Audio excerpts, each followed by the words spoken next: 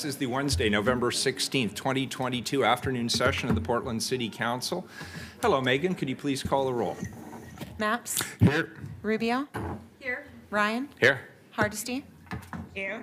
Wheeler. Here, before we get to our legal counsel, we have a very special guest in the chamber today.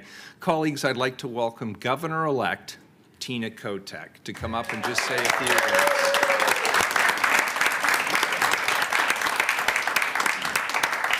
Good afternoon, Governor. Thank you so much for dropping in today. We appreciate it. Thank you, Mr. Mayor, and Members of the commission, it's so nice to see you. Um, For the record, I'm Tina Kotek, Governor-elect of the state of Oregon. Well, soon to be. It's not official yet, but um, thank you for your gracious invitation to just come by and say hello. First of all, I want to thank you for your service. We all have a lot of things we need to take on as, as public servants. And I'm meeting with the mayor today and some of his team to talk about some of the priorities here in the city. What I've said on the campaign trail is that it is important for Portland to thrive. It's important for Portland to be successful and safe and a place where everyone can be successful. And we have challenges here. We all know what those are. But my hope is to have a strong working relationship with the leadership here in the city of Portland so we can take our, our housing and homelessness challenge, our issues around mental health and addiction, making sure our schools can be successful, and also making sure that the entire state knows that we are one state, we have to work together. And I've heard across the state that people are concerned about things in Portland. We have work to do. But we're going to do it together. And I really appreciate the opportunity to say hello and, and just thank you for everything you're doing. And I'm optimistic we can solve problems together. Thank you, Governor-elect Kotek. And I just want to say, colleagues, uh, the governor-elect will be meeting with me every two weeks. Uh, She has prioritized the same things that this council has prioritized, homelessness, public safety, making sure that our city recovers fully and quickly. And I was very energized by the conversation that she had with my uh, staff and with me earlier today. In fact, uh, I believe you're actually going to go up and continue to talk to them because there were other issues that she wanted to raise. But we really appreciate your attention to the city of Portland and the work that we're doing here at City Hall. And we wish you the very best as you take office on January 1st. Thank you for everything you're Thank doing. Thank you, Mr. Mayor. Thank you. Commissioners, good to see you. Appreciate it. Thank you.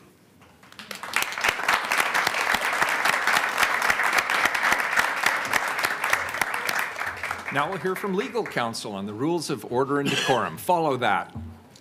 I'll do my best, Mayor. Good afternoon. Welcome to the Portland City Council. City Council is holding hybrid public meetings with in-person attendance in addition to electronic attendance. If you wish to testify before council in person or virtually, you must sign up in advance by visiting the council agenda on the council clerk's webpage at www.portland.gov slash council slash agenda. You may sign up for communications to briefly speak about any subject. You may also sign up for public testimony on resolutions, reports, or the first readings of ordinances. Written testimony may be submitted at cctestimony@portlandoregon.gov. Your testimony should address the matter being considered at the time. When testifying, please state your name for the record. Your address is not necessary. Please disclose if you are a lobbyist. If you are representing an organization, please identify it. For testifiers joining virtually, please unmute yourselves once the council clerk calls your name. The presiding officer preserves order and decorum during city council meetings to everyone, so everyone can feel welcome, comfortable, respected, and safe. The presiding officer determines length of testimony. Individuals generally have three minutes to testify unless otherwise stated. A timer will indicate when your time is done. Disruptive conduct, such as shouting, refusing to conclude your testimony when your time is up, or interrupting others' testimony or council deliberations will not be allowed.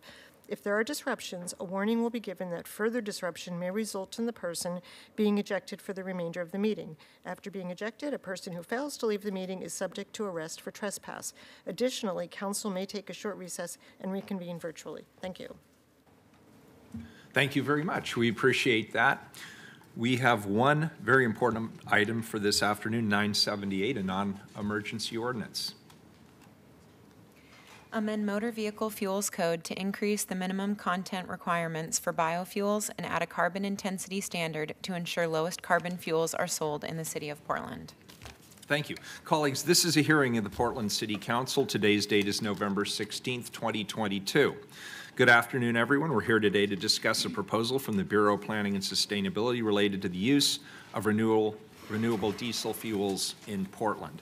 This is a first reading of this item. We'll hear a presentation from staff, take public testimony on the proposal, and then have time, uh, as always, for council questions and discussion.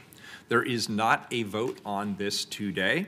We'll discuss next steps after the public testimony.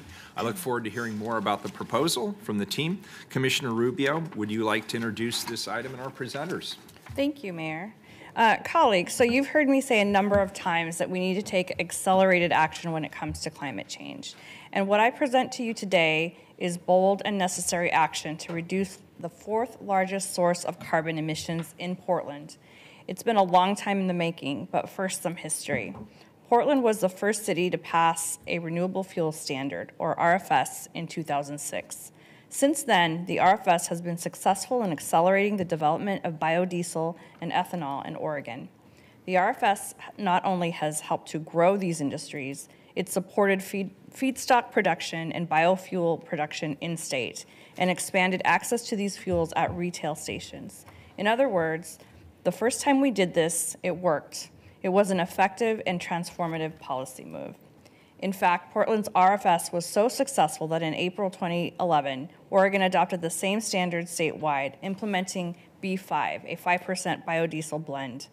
Since that time, there have been many advancements in fuel technologies and markets, and that's why City Council directed BPS to update the RFS. What we are presenting here is a critically important step in our transition away from fossil fuels and toward decarbonizing our transportation sector. The RFS is also a human health policy since it directly addresses a major source of diesel particulate matter and will have benefits for Portlanders by cleaning up the air that we breathe. I want to acknowledge all the helpful and insightful comments that the Bureau of Planning and Sustainability received during the public comment period. And you'll hear more about all of this during the staff presentation and invited testimony. But I would like to address a few of the themes we heard up front. First, while we continue to hear from renewable fuel producers that supply will be available in Oregon by 2026, we have adjusted the rollout timeline to respond to concerns from local industry about supply and cost. The proposal extends the phase-in schedule out to 2030. We also heard concerns of fuel retailers and distributors about supply, supply and cost.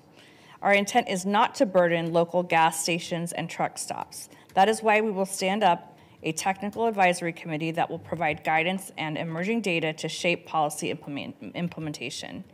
The Technical Advisory Committee, or TAC, will provide the BPS director with market intelligence at regular intervals starting in 2024 through the policy's target goal of 2030.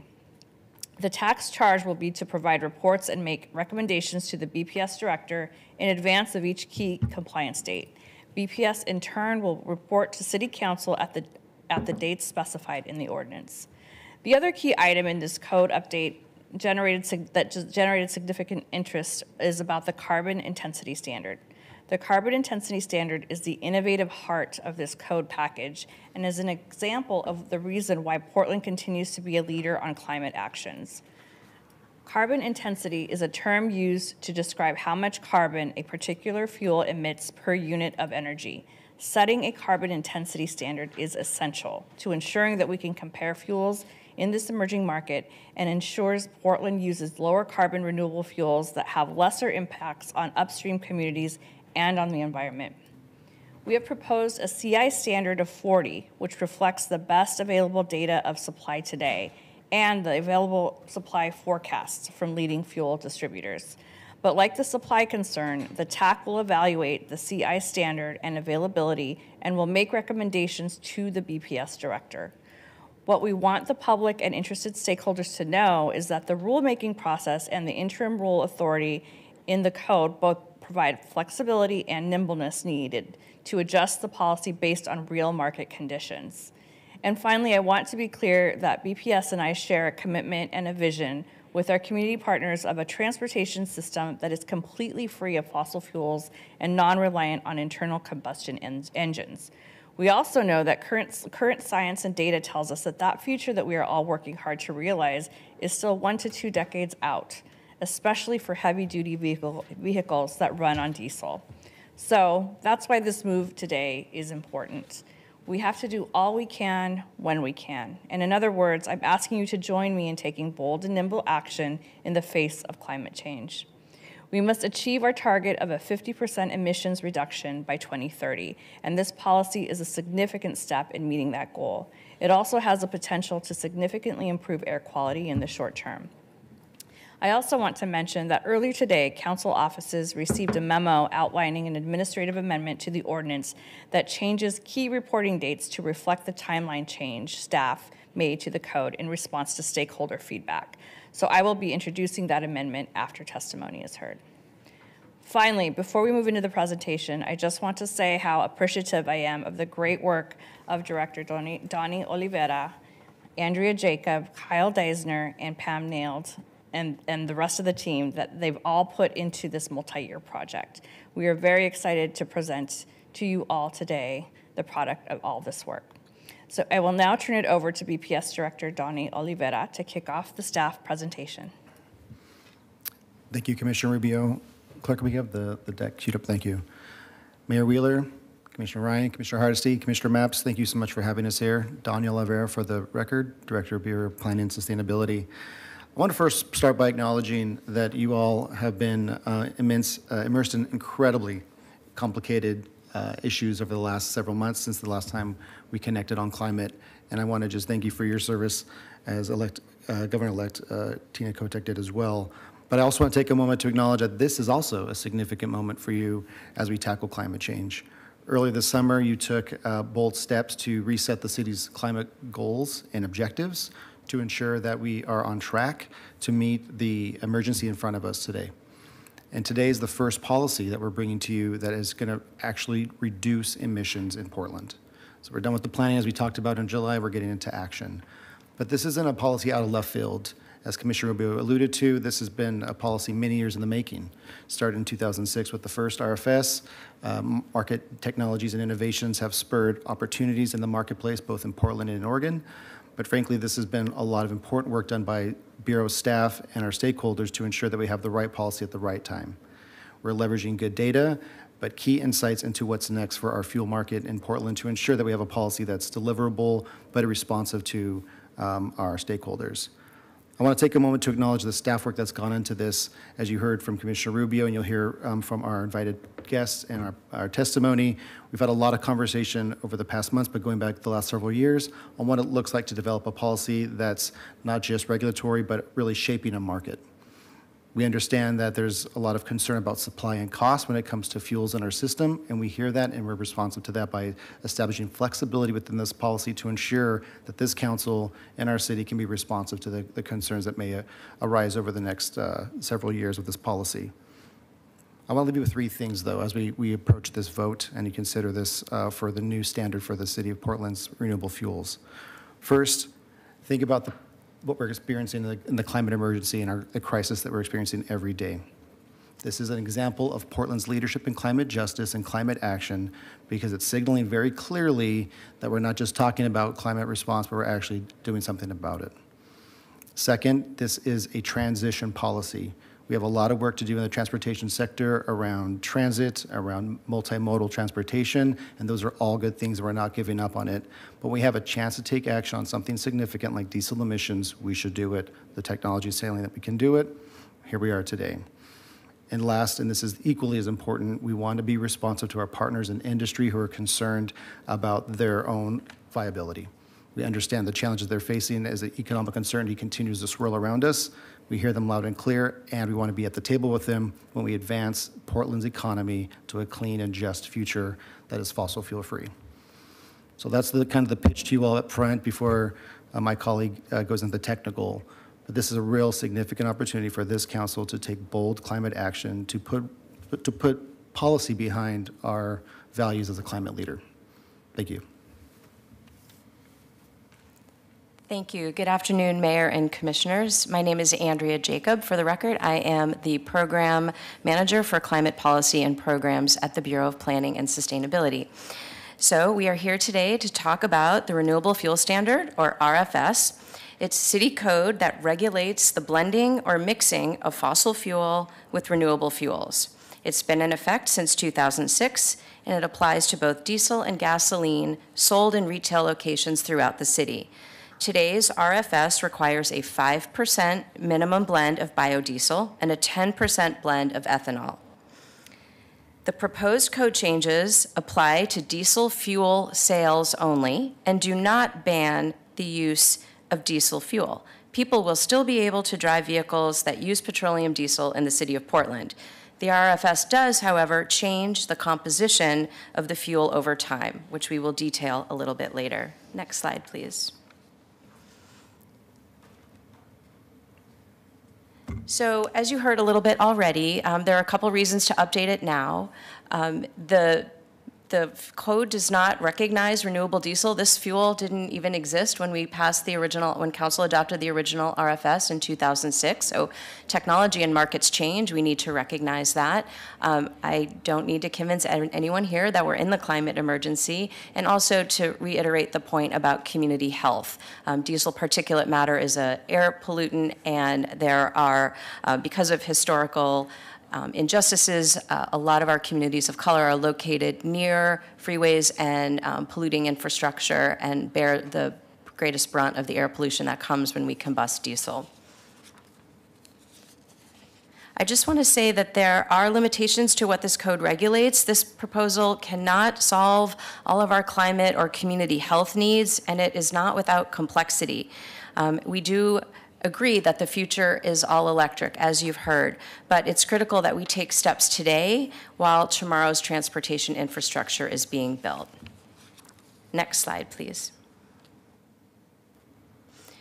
So at its core, the changes phase in higher blends of renewable fuels through 2030. The new standard will begin in 2024, and by 2030, it will replace 99% of petroleum diesel sold in the city with a blend of renewable diesel and biodiesel. And I have a chart in a little bit that um, will show that phase-in schedule a little bit more clearly. Um, a couple of things that the code also does, I'm going to speak about most of these later in the presentation, but just to sort of tick them off, um, it adds renewable diesel as an allowable fuel. It adds that carbon intensity standard, um, and we'll spend more time on that. Um, in response to industry, industry concerns about biodiesel, we did put a 20% cap for the purposes of compliance on biodiesel. We also added some exemptions for certain specific cases brought to us by stakeholders. Some of the penalties increased, just recognizing that it's not the same world as 2006. Um, we also clarified the rulemaking authority, which uh, was something recommended by the city attorney just to bring this code into conformance with other city codes. Next slide, please. So before we dig into the details about the policy, I just wanted to take a moment to review the basics. Uh, biofuels are any fuel that is derived from plant or animal matter rather than petroleum-based fuel sources. So I'm going to use that ice cream metaphor again that I think I used with Commissioner Ryan. If you think of biofuels as ice cream, and then you have different flavors. Renewable diesel is a flavor, and biodiesel is a flavor. So we use the term biofuels or renewable fuels interchangeably, and when we're talking about the specific fuels, we're talking about renewable diesel and biodiesel. Uh, renewable diesel is a really interesting fuel. Um, it is uh, chemically the same as petroleum diesel. It's considered a drop-in fuel, and because of its ease and performance, it's well liked by fleets, including our own city fleet and TriMet, uh, both of whom you'll hear from a little bit later. Biodiesel is a different product. It's renewable, biodegradable. It's made from vegetable oils, animal fats, recycled restaurant grease. It um, it is a example of a local uh, product, a circular economy type product, where a, a, waste product is a feedstock for something else. And as I mentioned, the current RFS requires the 5% blend in every gallon of diesel fuel sold today.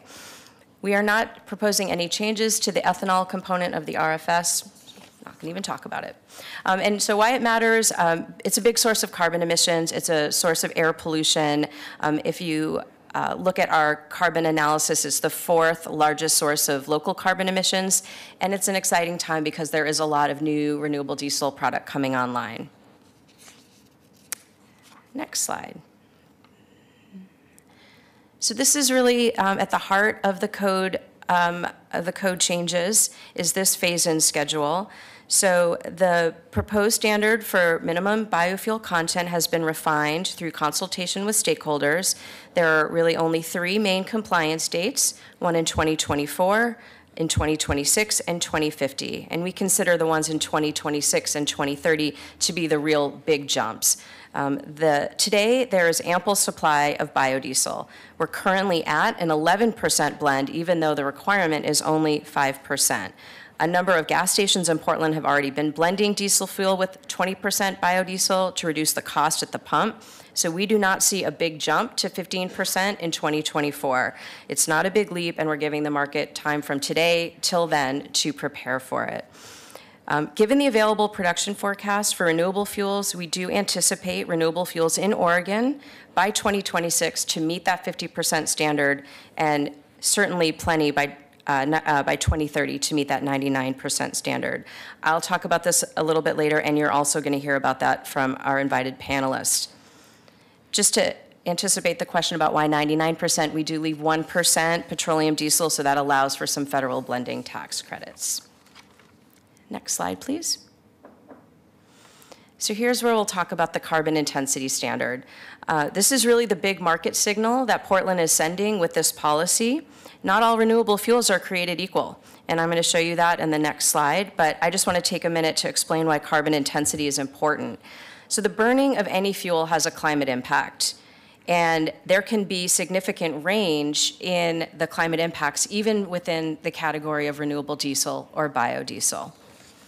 And so because there's this variation, we need a standard way to measure life cycle carbon emissions, and a CI or a carbon intensity value is that, is that metric. And it's expressed in a scientific formula that might look a little daunting, um, but it's really expressed as a volume grams of carbon dioxide equivalent. And so that just means there's more greenhouse gases than just carbon dioxide. So we lump them together in this equivalent per unit of energy, which is a megajoule. I don't really know what a megajoule is, but it, it's okay. We, it's just a volume per unit of energy. So you're, what you're getting at is um, that the, the lower the CI, the less carbon it emits, and the higher the CI, the more carbon it emits.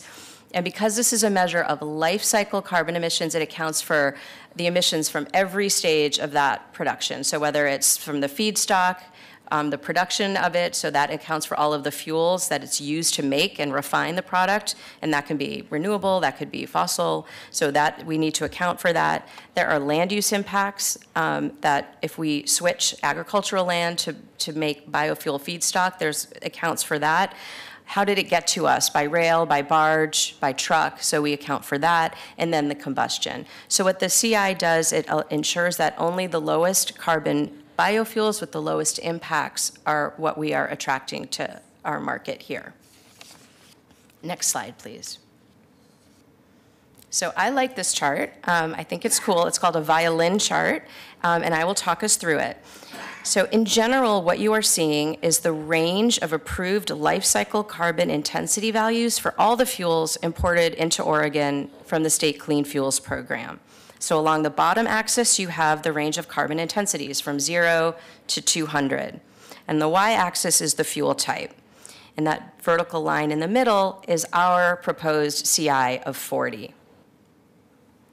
So the main focus of the RFS update is to phase out the sale of petroleum diesel fuel, and I'm showing you that in the red circle. So look for the red diesel on the left and then follow that red circle and you see that green dot, that has a carbon intensity of 100. So just that's your what we're comparing to.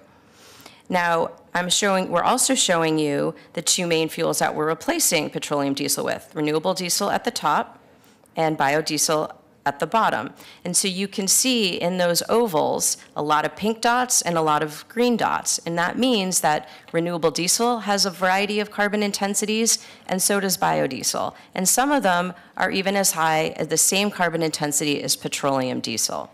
So what you're seeing is that anything to the left of this line would be allowed, and anything to the right of this line would not be allowed. So Environmental advocates and environmental justice communities have raised valid concerns about life cycle carbon emissions and especially the induced land use changes from that conversion of ag land to, to fuel feedstock. And so it- we also heard from stakeholders that, that, and you'll hear probably later, that this is too low of a carbon intensity standard, and some stakeholders would like to see it higher. Because we are balancing that feedback from environmental and environmental justice communities as well as industry, we thought that the 40 was the place to start for code, and then we can talk about definitions and all the specifics of implementation later in rulemaking. Next slide, please. So we have heard a lot of concerns about the supply of, of biofuels, in particular renewable diesel. So this is data from the Oregon Clean Fuels Program. This is supply that is available to come to Oregon. So it's showing 772 million gallons. Just for a point of reference, our consumption in Portland is 120 million gallons per year. So when we look out in uh, just a couple of years, I'm going to show you the fuel forecast for 2024. We're looking at 5 billion gallons coming online. Our usage is just 2.4% of that. So that's just a drop in the bucket. Next slide, please. These are data from the Energy Information Administration, and what it's showing is explosive growth nationally in, the, re- in renewable diesel production, increasing from a billion gallons this year uh, to 5 billion gallons per year by 2024. So even if some of what is proposed is delayed or doesn't come online, this growth shows that we're still well ahead of our 2030 target for R99. But because we understand uncertainty and forecasts, uh, nobody has a crystal ball, we're planning to manage that uncertainty through the Technical Advisory Committee, um, which will give us a line of sight into this market, and we'll talk a little bit about that in a minute. So we are seeing growth. I also want to mention that you know, we are seeing growth in Oregon and Washington as well. But even if that doesn't come to pass, there's so much coming from other parts of the, of the country, and we would account for that in the CI standard. So that's the way that we ensure the fuels stay low carbon. Next slide, please. I'd say that the most common theme that we heard during public comment from local fuel retailers and distributors, as well as the freight and trucking interest during public comment, is that they all really like renewable diesel. This is a fuel that is very exciting to them, but they are concerned about the availability of it coming to Oregon and to Portland at a competitive price. And we understand the current market is admittedly constrained. We're not solving for today. We are looking four years and, you know, eight years out. So um, as I showed you, the forecast for renewable fuels is robust. California is oversupplied, and that fuel is looking for a market to come to. As a port town, we're an attractive national, uh, natural advantage to bring in this fuel. So, in a conversation with Phillips 66, they said that um, Union 76 stations in California are selling renewable diesel at the same price per gallon as petroleum diesel. Um, we've heard the same concerns when we passed the RFS the first time. The market gets concerned at first and then it adjusts and then it finds a way. And we think that will happen. It happened in California, it happened here, and we expect it to happen here again. Um, but again, managing for that uncertainty through the TAC. Next slide, please.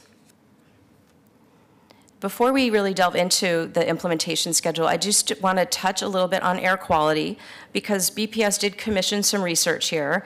Um, we had Eastern Research Group conduct an impact assessment, um, and the point was to quantify the effect of renewable fuels on four different pollutants. And this is really deep beyond my knowledge base, but these pollutants matter for a variety of reasons. Some are ozone precursors, some are, as you know, PM 2.5 with really drastic health impacts. So um, we don't know because our standard is really fuel neutral. We're not um, prescribing what blends retailers are going to sell. It was hard to know exactly what blends to model, so we chose two scenarios an R99 scenario, because we know that's our, our, our end goal, and then a blend of R79 and B20. And really what I want to highlight here is that we see some potentially very big reductions in PM 2.5. And this has been a really vexing problem for Portland and for Oregon. Um, we have someone to speak to this later. Um, and it especially, as I mentioned, impacts communities that live close to construction areas, freeways, and freight routes. So um, we see reductions almost across the board in a lot of these compounds, so we know that there will be a positive effect from the renewable fuel standard. And um, on PM 2.5, that, that comes into effect almost immediately, so there's an immediate benefit from the renewable fuel standard. Next slide, please. So this is uh, a little bit about implementation. We have some rules, um, and then we have this technical advisory committee. So during 2023, we expect to um, have a short-term rulemaking advisory committee that will be broad in its interests. It will have fuel producers, suppliers, state and local fuel experts, economists, community members to help us write the rules in a short amount of time. And it will address or shorter amount of time. And it will address definitions and labeling, reporting, and compliance mechanisms.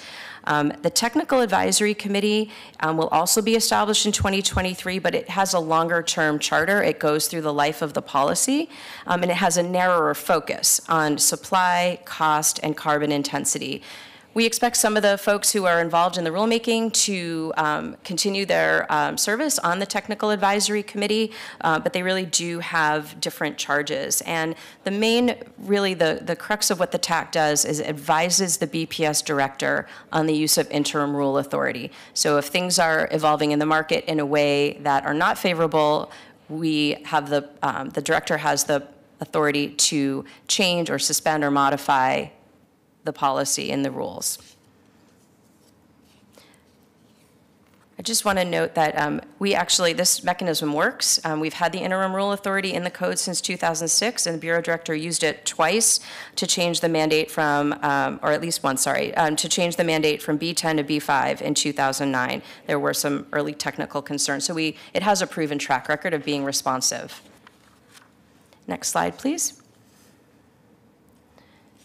So on this slide, there's three main things happening. In blue, you see um, actions that the TAC is going to take. The red are the policy effective dates, and the green um, are when BPS report to council. So we're going to stand up that TAC in by the middle of 2023. Um, the May 15th, 2024 um, is the first policy effective date. We did not feel the need for the TAC to have a role in advising BPS on that because we are at currently, as I mentioned, 11% biodiesel today, um, and we have been told there is ample supply of biodiesel at low carbon intensity. So we did not feel that it was important to uh, that that standard is it's kind of a gimme. It's not like that difficult to meet. Is why we set it up this way. So the first real deadline for the TAC is October 15th of 2025. And then BPS would report to council, so file a report in February of 2026. And then this first real big jump happens in mid-May of 2026 with that 50% blending requirement. And then the cycle sort of repeats itself in 2029 in advance of the 2030 uh, 99% blending requirement. Next slide, please. Finally, just to review a little bit of the process, how we got to this moment. Um, it has been going on for a couple of years. Um, in January of 2020, City Council did adopt an ordinance that explicitly um, moved the authority of the RFS to the BPS director to establish revise as necessary, and enforce standards for biofuel sold in the city. So we went to work uh, with research and due diligence, monitoring state legislative efforts. We had a large workshop where we talked to producers and suppliers and really informed a policy concept. And then we um, also offered a series of educational videos with follow-up interviews, and um, that was hosted for local community-based and environmental justice organizations. Then beginning in September, we moved into our public comment period. It lasted for five weeks. We held two formal online public meetings. We also offered 10 hours in, of informal drop-in office hours, so that gave folks um, time for deeper conversation and questions. And we responded to over a dozen requests for individual stakeholder meetings. Then we also conducted an additional Ask Me Anything style meeting with community-based organizations. At this time, written testimony is still open through the end of this week. It will close at 5 p.m. on Friday, November 18th. So that is the end of my presentation. Um, we do have some in, um, invited panelists. I don't know if we stop for questions or just keep going. Uh, Commissioners, would you, do you have any questions about the presentation before we um, invite our guests to speak? Why don't we let the guests go ahead and speak in case they have other obligations this afternoon? Great. And uh, then then I'll have a couple of questions. Thank you. Thanks. Okay, so all of our um, invited panelists are on Zoom, so I'm going to invite our first panelist, Eric Chittable from our City Fleet Department to speak. Hey, Eric. Thank you, Andria. Uh, Mr. Mayor and members of the council, thank you all for having me. It is a, it's a pleasure to be here with you today. Uh, my name is Eric Chittable, and I am the Garage Operations Supervisor with City Fleet. Uh, I started my tenure with City Fleet in the city of Portland 11 years ago, uh, actually on November 3rd, as a vehicle and equipment mechanic. Uh, and through the years, I've been fortunate enough to be promoted into the vehicle and equipment supervisor role, and now where I'm at as the garage operations supervisor. Uh, through my roles, I've seen our progression towards R99 and the effects that it has had on our maintenance with within the city of Portland's fleet. Um, I'm hoping today to give you a general overview of the maintenance efficiencies we have seen with our equipment with the use of R99. Uh, first off, I believe it would be helpful to give you insight of how manufacturers and OEMs uh, view and recommend getting peak performance out of uh, the after treatment systems that they create, uh, which these can be affected by the fuel types. Um, it's a fairly easy concept. Uh, drive it. Often these after treatment systems see less problems when they are driven at highway speeds for long distances. Um, they're not meant for short stints. Uh, it gives the vehicle the opportunity to clean its emission system out in a process that they call active regen. Um, that's when all the soot and particulate matter is heated up into a more desirable byproduct. Uh, with the many crews for various bureaus that operate these vehicles, uh, the job they are doing does not really allow for these types of driving conditions. Um, and oftentimes they're operating on side streets. They're they're driving for short stints. They're not going too far away from the lots that they came from. Um,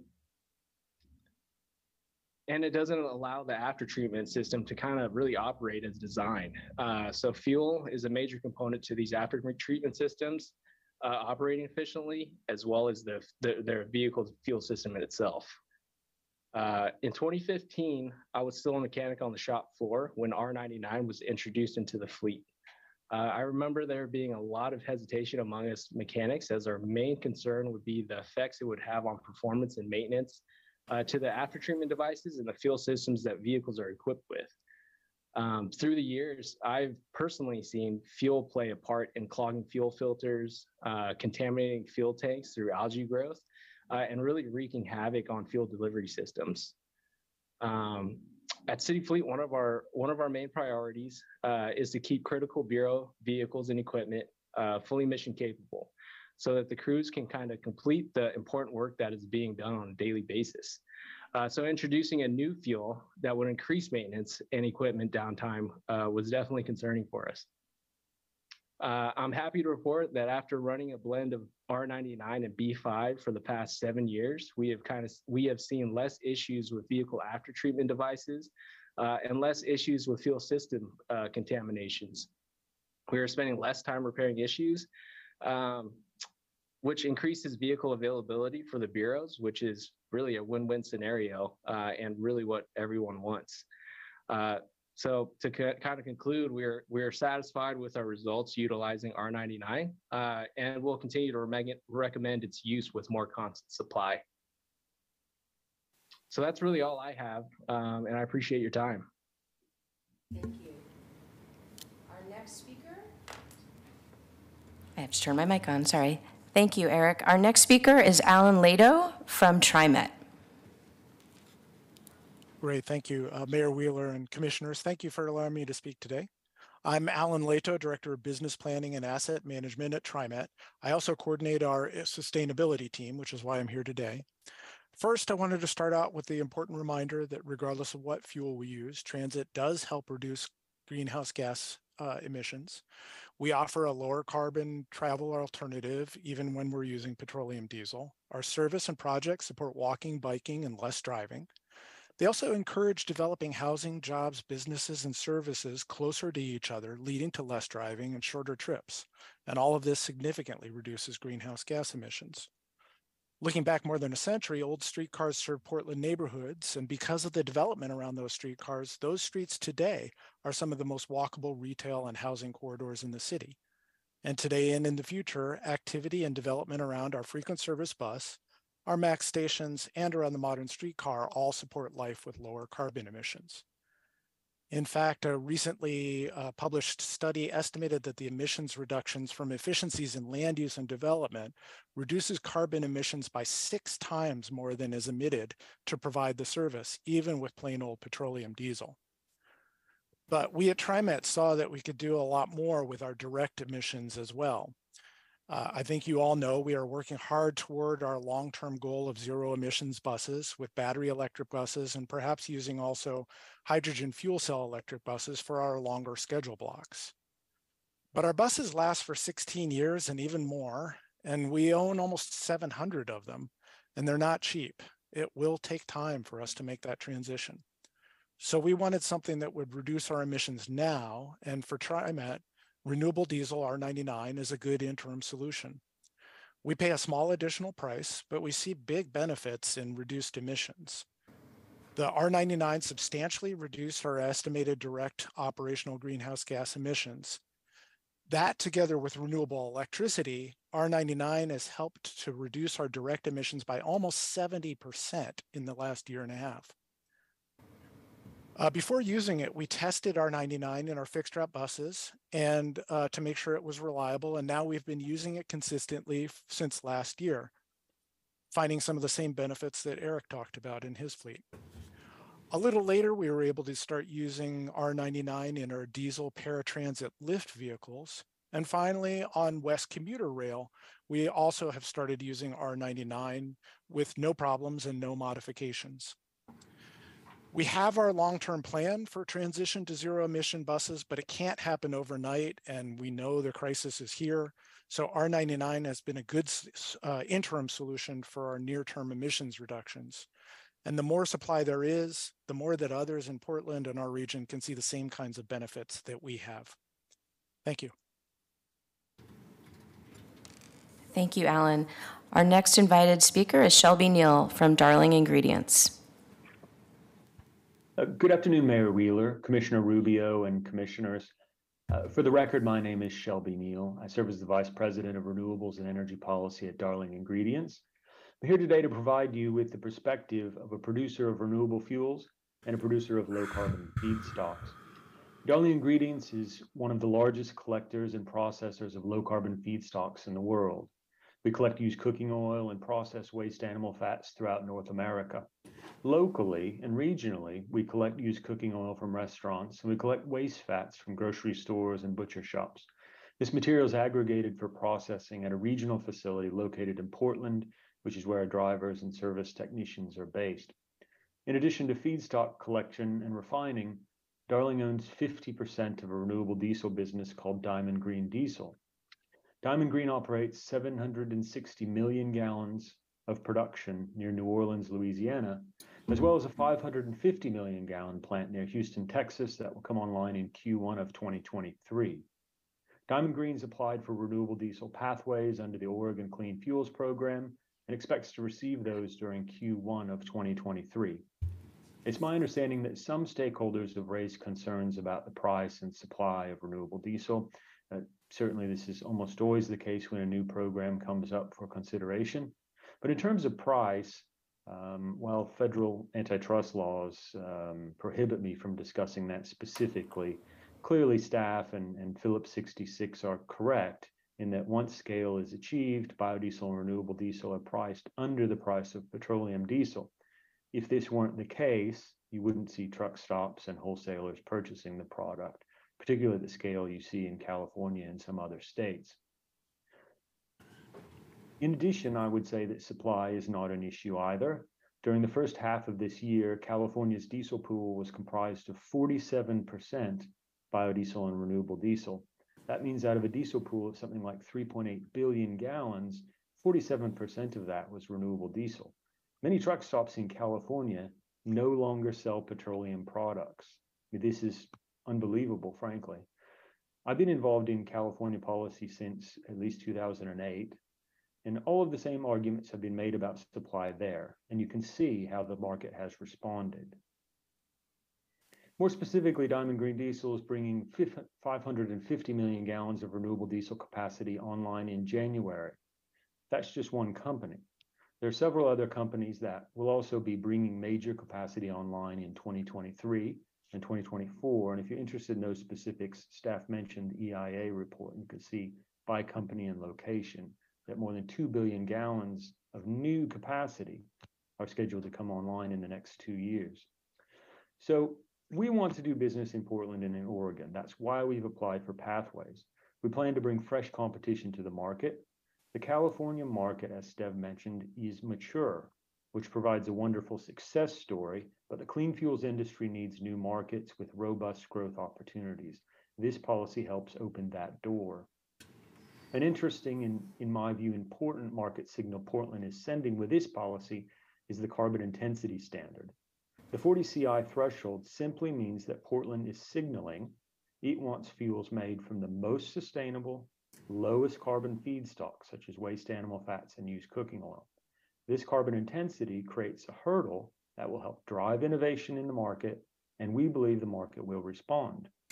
We see in the record that some have expressed concerns about the CI standard limiting supply of an already limited product. Let me just say that Diamond Green Diesel, while only one company, this is one company that will very soon be producing 1.2 billion gallons of renewable diesel, the vast majority of which will be waste-based. We simply do not see a problem with supply for the Portland market at the CI standard proposed in the code. I reviewed the original proposal from BPS staff and maintained that timeline is entirely achievable.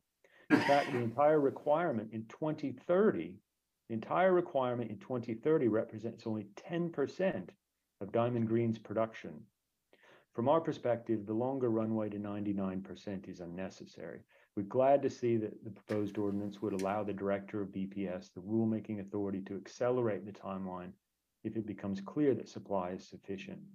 We're glad to see the City of Portland taking this leadership role and appreciate the opportunity to share our thoughts with you today. We support the RFS and hope you will adopt the proposed code amendments. Thank you again for having me. Thank you. Thank you. Our next speaker is Andrew Dyke from ECONorthwest Consulting.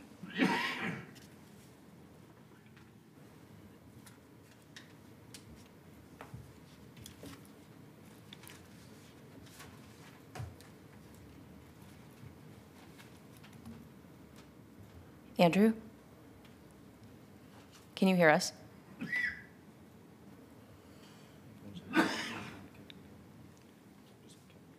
Okay.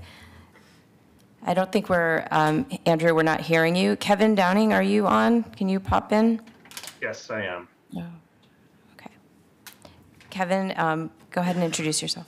Great. My name is Kevin Downing. I live in Southeast Portland, and weirdly enough, I'm I'm grateful for the opportunity to talk to you once more time about diesel emissions.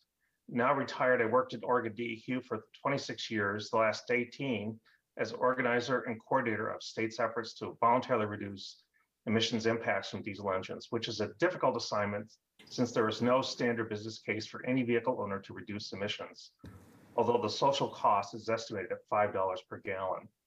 Diesel engines are the most efficient internal combustion engine. They are widely used because of their power, durability, and reliability. They are heavily integrated into American commerce with more than 95% of freight movement powered by a diesel engine. Oregon, interestingly enough, consumes diesel fuel at higher rates than in Washington or California, considering either population or GDP. Disproportionate is an apt term describing diesel in America. Medium and heavy duty trucks make up about 4% of the motor vehicle fleet, but consume 26% of the motor vehicle fuel and emit 29% of motor vehicle CO2 emissions, with an even larger impact to climate from the black carbon soot of the exhaust disproportionate also in pollution impacts. In Oregon, highway diesels emit 65% of the fine particulate from all motor vehicles. It is commonly accepted that diesel exhaust is a social nuisance due to the smoke and odor. However, the shoe drops hard when the range of known and likely health effects is revealed, including cancer, heart disease, asthma, COPD, and even impacts to the nervous system. It is a pernicious pollutant with the extremely small size of the particles and its accumulated toxins able to effectively penetrate the body's defenses. Most poignantly, a recent report detected black carbon particles on the fetal side of placentas, this in women exposed to concentrations lower than observed in Multnomah County. While the latest bottled diesel vehicles and non-road equipment are 95% lower emitting compared to so-called legacy engines, turnover is slow because of continued usefulness for the older vehicles and equipment and the capital cost of replacement, particularly for financially constrained businesses. Seeing 30 to 40 year old engines in day-to-day service is not unusual. For whatever reason, turnover in Oregon has been historically slower than EPA projections. Renewable diesel plays a key role in reducing these hard to achieve emissions in these older vehicles and equipment, while at the same time enhancing further reductions in vehicles and equipment with modern, sophisticated emission controls. A report commissioned by the city from Eastern Research Group, a nationally recognized air quality consulting firm, projects a 28% reduction in fine particulate matter from Portland area diesel vehicles and equipment, along with reductions in toxic hydrocarbons and nitrogen oxides with an R99 renewable diesel standard especially in the older engines where impact on climate is two to three times greater from the black carbon than the CO2 also emitted, renewable diesel secures environmental and health protections that are economically efficient and otherwise are very difficult to achieve. Renewable diesel is not a golden ticket, but it is a vital strategy to complement ongoing efforts to protect public health and climate. Thank you. Thank you, Kevin. I'm going to give Andrew another chance if Andrew's on the line. All right, I don't think so.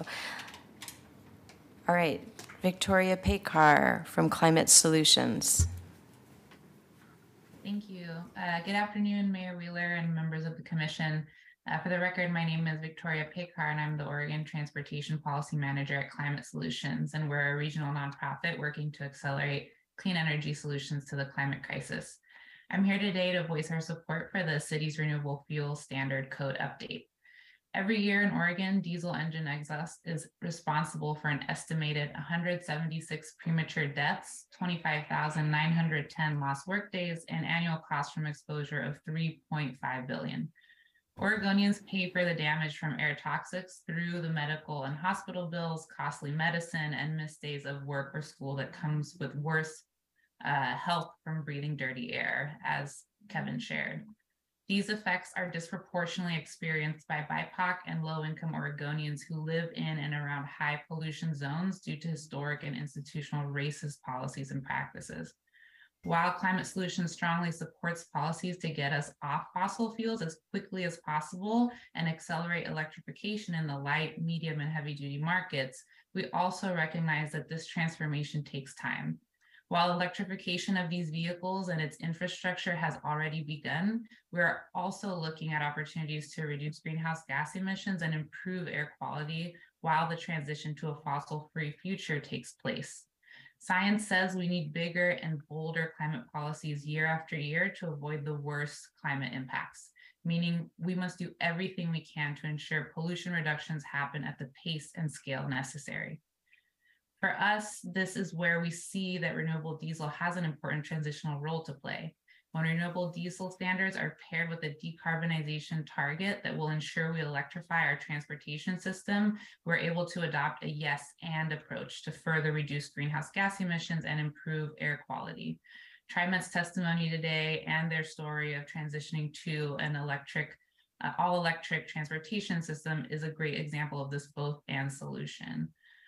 While we would have liked to see the renewable fuels phase in be adopted at a quicker timeline, we wanted to show support that the um, of the proposals set carbon intensity with a standard of 40. This not only aligns with the state's clean fuels program, but also will help exclude most biofuels made directly from agricultural products and instead favoring reused and recycled products with lower life cycle carbon emissions and help make improvements to the air we breathe. The unfortunate reality is that diesel engines still make up the overwhelming majority of the trucks and buses on the road. And in the meantime, Oregon's transportation sector is responsible for nearly 40% of our state's total climate pollution and much of the air pollution that's harming our lungs and health, especially within environmental justice communities. Portland's proposed RFS provides a crucial opportunity to maximize air pollution and emissions reductions while keeping the goal of electrification as the unwavering objective of the transportation sector. Thank you for the opportunity to testify today. Thank you, Victoria. I think that ends our invited panelists. So we can now open it for public testimony. Very good. Colleagues, is there any questions before we get to public testimony? We've completed the invited testimony. Uh, How many folks do we have signed up? 10 individuals. 10. Okay, well, that's only half an hour. Why don't we wait till, uh, can we wait till after the testimony and then we'll have Q and A? Because undoubtedly testimony will raise some questions as well. Good. And Commissioner Hardesty's virtual today, is that correct? I, I see her on here. Yeah, she's here, right? She's, she's in the meeting. Yes, she said here when her name was called. Oh, great, okay. Um, She'll let me know if she has any questions. Uh, Why don't we start with public testimony? And you'll be called up by our amazing council clerk in the order in which you're signed up. And uh, I'll turn it over to her, three minutes each. Name for the record, please. First up, we have Greg Peden, followed by Holly Johnson and John Isaacs.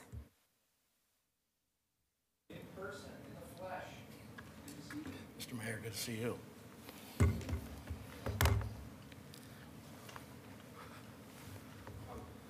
One, is this your, sli- what am I looking at? This is should be able yours. to- Be able to put something up? Okay, great. He- Oh, right. it- Oh, yeah, that's, that's kind of small, isn't it? Okay, well, I'll do my best to I was explain. gonna say, your eyes are much better than No, they're not. Good afternoon, Mr. Mayor and council members. My name is Greg Peden. Uh, I'm a lobbyist uh, here on behalf of the Oregon Fuels Association. Uh, The Fuels Association is the voice in Oregon's, uh, in Oregon for locally owned fuel stations, fuel distributors, heating oil providers. Uh, We're at the forefront of environmental stewardship with the industry as the leading suppliers of biodiesel and other low-carbon fuels. Often multi-generational, family-owned businesses, the Fuels Association uh, fuels Oregon's uh, economy prov- by providing career opportunities to thousands of employees across the state. The associate- association is a leading advocate for common sense regulations that balance affordable fuels and environmental uh, stewardship. We're here today to be part of the solution, not part of the problem. Uh, We certainly appreciate all the work that has gone into uh, the, the ordinance and all the work that uh, the staff and, and others have done to bring it uh, to where it is today. Uh, We supply low-carbon fuels uh, into the market today and will certainly continue to, to do so. Um, There is one problem that we have with the ordinance that I wanted to highlight today, and that is the carbon intensity standard. Um, And uh, uh, uh, folks have touched on this, but the, the detail is really important to us. Uh, The ordinance states that all fuels sold under uh, the standard, starting in 2024, must meet the standard of of 40. We're not all, at all confident that that's possible, and here's why. As I'm sure you all understand, fuel is a commodity. And like any commodity, uh, probably on a daily basis, the price, the supply, the quality, et cetera, uh, change. And while uh, there are days where we can supply uh, a fuel with a CI of 15, there are also days where we uh, can only get uh, a CI of maybe 50 uh, that is higher. Um, And uh, that's where we run uh, uh, uh, into a problem here, which is um, we think that on day one of the passage of this ordinance and the effective of the effective date of 2024 as it relates to CI, right? The, the blending mechanism has a has a longer window, but the CI takes effect on uh, in 2024. We may very well be out of compliance. I certainly understand there's going to be a technical work committee. I, I certainly understand that the, that the uh, Bureau has uh, uh, pledged to, to work with folks, but, and we respect that. We want to participate in that and continue to work on them. Like I said, we want to be part of the, the solution here. But what happens when we're out of compliance on day one? Um, That's the piece that we just feel like there is a little bit of, um, there needs to be a little bit stronger flexibility put into uh, the ordinance. It's not achievable yet. We think it will be um, soon. And that's what I, I- I- the the graph that is in front of you, I don't know if everybody in the room can really see it, and I apologize for that. But what I want to draw your attention to is to the, to the second box uh, on the, what would be the right-hand side of the top of the document. Uh, It shows you the breakdown of the average CI scores. Uh, This is from DEQ, I should have said. These are DEQ's numbers, not my numbers. And it shows you right there, uh, this is 2021 by quarter, the biodiesel averages 43.25, 44.9, excuse me, 40.49, 41, et cetera. You get the point. And so you can understand, that being the average, there are days when it's lower, there are days when it's higher. Now, So Greg, c- can I ask you, a question? and, and I think your time is up. I- We Okay, lost, sure. somewhere we lost the timer. That's that- okay. that I think I'm probably But- made my point. Look, I, I wanted to ask you this follow-up question while you're, you're on the dais anyway. So um, if, let me spit back what you're saying to make sure I understood it. Sure. In terms of the mixture, you're saying it fluctuates from day to day. Your concern is the technology may not ramp up quickly enough to create the supply that comports with the standard that would be established under this ordinance. Is, is that a fair statement of Yes. what you're saying? So can I ask you a question? So uh, we, we had staff give the example of California and something similar to this being done in California. It, it appears, if I understood the staff presentation correctly, that they have solved this problem. Why are they able to solve it? And your supposition is we would not be able to. Well, I can't speak to what the rules are in California or what the penalties are in California for not complying. What I can tell you fair. is, what I, as I read the ordinance as it's written, Okay. if on January 1, 2024, you are not supplying a CI score of under 40, you are out of compliance with this ordinance and subject to penalties, financial penalties. And that's the piece where we're saying, you, uh, we can tell you that, given what I'm just showing you here about the fluctuations, that that's going to happen. And it's going to happen because we can't get the supply, not because we don't want to comply. And, and could you just help me understand, I, I promise everybody else who's testifying, I, I won't, you know, I, I've- I've known Greg for a while, so I, I feel like I can take a few liberties with him and ask him his perspective on these questions. So, um, you know, supply obviously comes from outside of the state of Oregon. What, what are the determining factors with regard to supply, in your opinion? Yeah, uh, that's an excellent question. The, in my opinion, you've got uh, market conditions that will affect the supply into this state. So, for example, the uh, demand into California is enormous, right? Let's just, by, by way of simplistic comparison, we have 4 million people, they have almost 50 million people. So just, just as a way of analysis, their, their demand for fuel uh, in these markets is going to be tremendous. The second piece that's not really talked about here is carbon credits. As you sell carbon credits into, into the state of Oregon or state of California or eventually other states, those carbon credit prices are going to fluctuate as well. And so, so you have supply, demand, and price, right? And those are the challenges that we'll face. I'm not saying we won't be able to increase supply. I suspect we will because, as other folks have said, our supply overall is going to, to uh, is going to uh, escalate. But uh, just like in any other product, you're going to go where the greatest demand is and where the price is the best. Okay, and, and, and I, I, I won't belabor this more, but maybe I'll say, that I, I would personally like more information on the economics of this question to the degree that you can supply it to me or Absolutely. supply it to my colleagues after the fact. I would be interested in getting your perspective. I'm particularly interested in profit margins. And I'd like to know something about the overall percentage of, uh, you're an association, correct? So your association membership, I'd like to, to understand what percentage of their sales this would represent. Are we tar- talking about relatively large or relatively small? If, if, if I could get any information you have on that, I would be most appreciative. You bet. Great, thank you for your Okay, thank you, testimony. Mr. Mayor. Thank you. Next, we have Holly Johnson. Welcome. Good afternoon. Can everyone hear me? Yep, loud and clear. Great. Hi, I'm Holly Johnson, and I represent Western States Petroleum Association. WSPA has provided council with comments on November 11th, and I hope you have had time or will spend some time reviewing these comments, as it will further provide some context to what I'm about to say today. I'd like to start first by thanking BPS staff for the work they've done with the proposed code.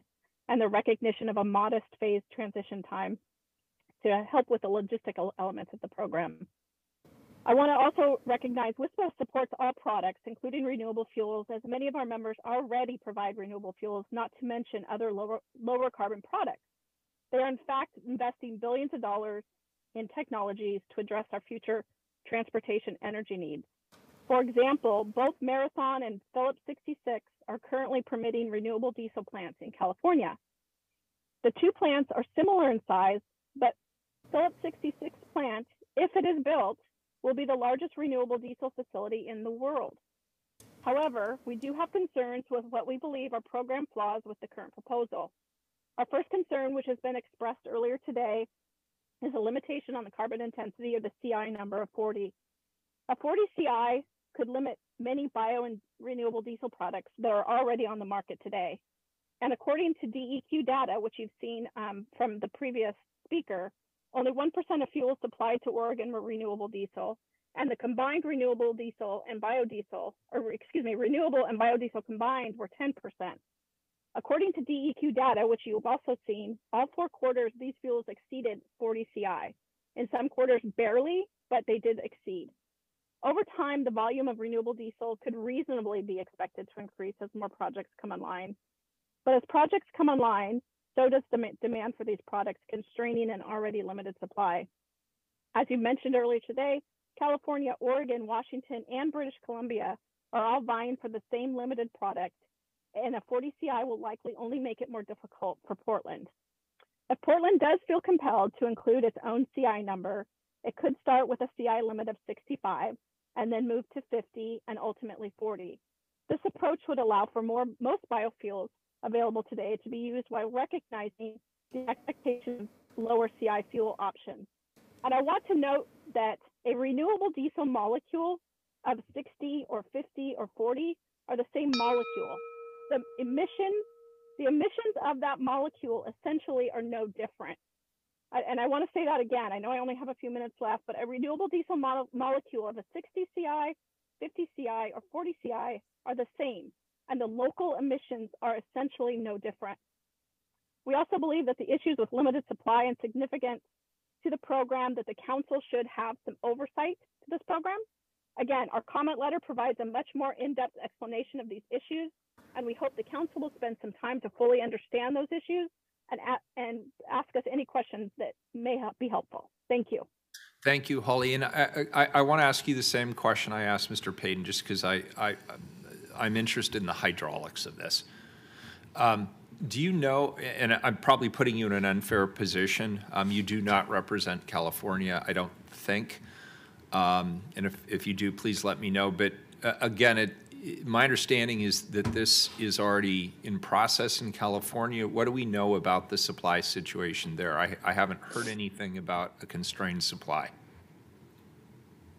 Yeah, and I uh, WSPA does represent California, but I myself only represent the Northwest.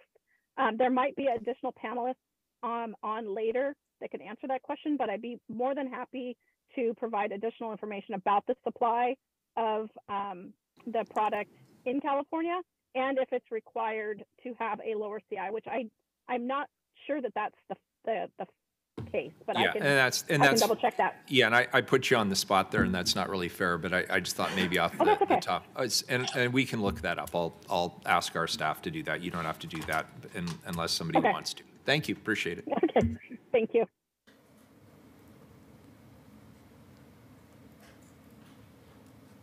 Next, we have John Isaacs. Welcome. Uh, Thank you, Mayor. Uh, Mayor Wheeler and City Commissioners, uh, thank you for the opportunity to be here today. My name is John Isaacs, and I'm the Vice President of Public Affairs for the Portland Business Alliance, Greater Portland Chamber of Commerce. I prefer he, him pronouns, and I'm a resident of Southeast Portland. On behalf of our 2,100 plus members, I'm here today to express our support and appreciation for the process that produced this updated renewable fuels ordinance. It will be critical that the collaboration and transparent approach that was taken by Director Oliveira and his team continues if this, if this new policy is going to be successful, is going to successfully achieve its goals. I want to thank Commissioner Rubio for her leadership, along with Director Oliveira, for the positive work the business organizations you're hearing from today when developing this ordinance.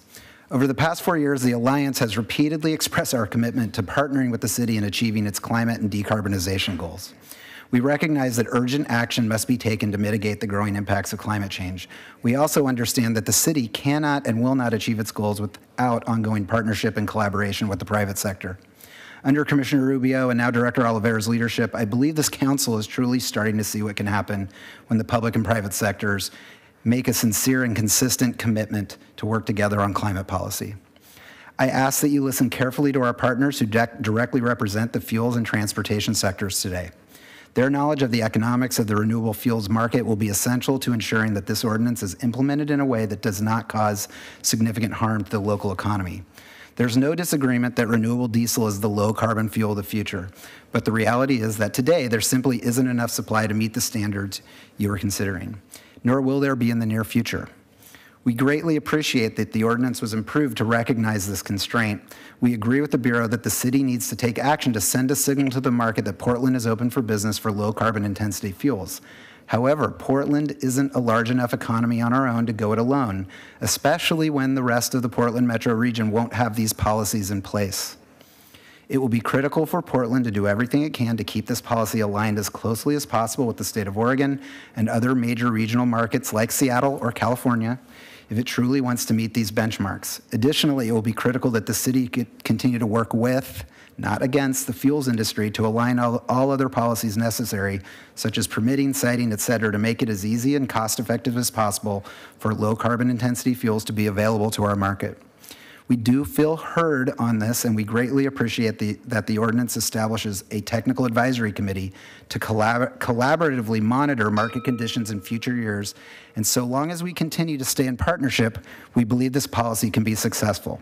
Lastly, I want to express our appreciation for the genuine consideration that has been given to the negative impacts this ordinance could have had on critical local employers. We are satisfied with how these concerns were addressed. Thank you to Commissioner Rubio for her strong leadership, and thank you to the council for your time today. Thank you. The next three individuals are Jana Jarvis, Evan Oneto, and Paul Graves. Welcome.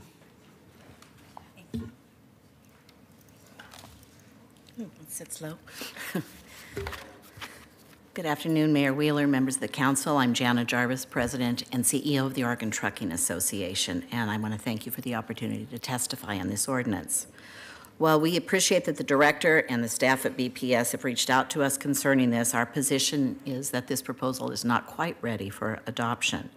And I would also mention to you that I have submitted some detailed written testimony. I hope you'll take time to take a look at it. But I'm going to try to touch on the key points in the time allowed to me. I think it can't go without uh, being mentioned that the trucking industry has been under extreme working conditions over the past two plus years. COVID shutdowns, work from home efforts worked because the trucking industry continued to deliver your groceries to your store and consumer products to your front door. But our drivers experienced no rest areas, restrooms, or places to eat, and we lost a large number of drivers as the pandemic began. And then, as the economy rebounded, we experienced high consumer demand coupled with supply chain issues that made our operations significantly less efficient. The largest costs in a trucking operation are labor and fuel, and both were impacted with significant cost increases, and we continue to experience them. Driving up costs for Portland based carriers will only result in losing those carriers to competition from outside the city or outside the state. OTA has been engaged in policy discussions around carbon for years. Our industry has, has invested significant dollars into purchasing newer, cleaner equipment, where the tailpipe emissions in a, in a Class 8 truck today are cleaner than the air in downtown Portland. Today's truck has reduced 97% of the particulate matter. So we are well on our way to investing in what needs to be done for the future. And certainly renewable diesel is part of that discussion. However, while the product is highly desirable, it is simply not available. There are efforts underway as we speak to site a manufacturing facility in Oregon, but DEQ just denied their permit and put the construction of that facility back at minimum another year, if not indefinitely. It also needs to be stated that biodiesel is not a similar product to renewable diesel, which we refer to as a drop in fuel. Biodiesel gels at cooler temperatures, and that's the reason B20 is only used in warm summer months. A standard that would rely on higher blends would result in our trucks being unable to deliver your groceries. But the most important takeaway today is your own emergency ordinance that you're going to be considering that authorizes multi-year price agreements for gasoline and diesel fuel for your own city fleet. The ordinance recognizes the desire to, to move to renewable diesel, but state that it requires a consistent supply of R99 to do so. Your ordinance is a five-year ordinance, which takes you past the implementation date of this on our members. So I, I would thank you for your time today. I would ask you instead to work with us and help us find some incentives and possibly even site a facility within Portland city limits. And with that, I thank you for your time. Thank you. Evan Oneto. Good afternoon, Mayor Wheeler and Commissioners. Evan Oneto on behalf of FedEx Corporation, as well as the current chair of the Oregon Trucking Association. On behalf of the 5,000 FedEx team members in and around the Portland area, I'm here to testify in Ordinance 978. Before any law or regulation proposed it, FedEx publicly committed to its goal achieve carbon neutrality by 2040. We are an industry leader in both the development and acquisition of new, zero, and near zero fuel technologies. But it is our experience that adequate planning, a thorough study of market availability, and use of incentives help ensure a successful transition to new technologies. We must be careful with mandates that do not adequately consider market constraints on new fuels and vehicles. That is why I'm here to express our concern over Ordinance 978. While we often use renewable diesel when, it, when and where it is available, we fear a mandate such as this could create a bottleneck in supply and drive prices up artificially. Further, as written, the ordinance appears to lack adequate controls to anticipate or respond to such constraints. We appreciate BPS's optimism about future supplies and hope they're right. Um, no, however, uh, nobody saw, I would point out, nobody saw COVID or the microchip shortage as an issue uh, only a few years ago in terms of vehicle supply. The fuel market, as has already been mentioned, is often volatile, and we fear that by the time the director were made aware of supplier cost or concerns, it may be too late, and the Portland market would be unable to adjust in time.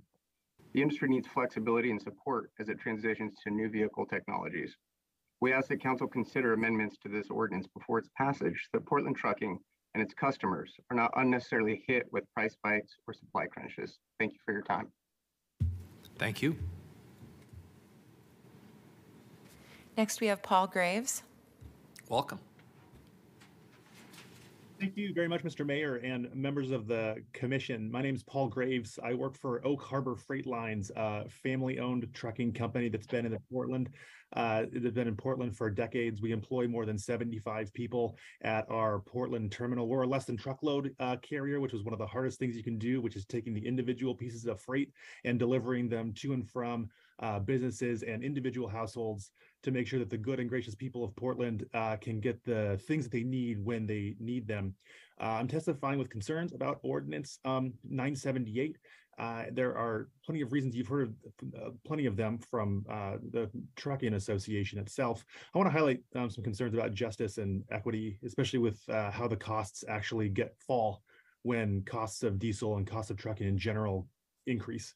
Um, I again also share the hope that um, that uh, biofuel uh, reliability and availability is going to be there, and that this won't actually increase costs. Um, if it is, then we wouldn't even need this ordinance, which would be wonderful.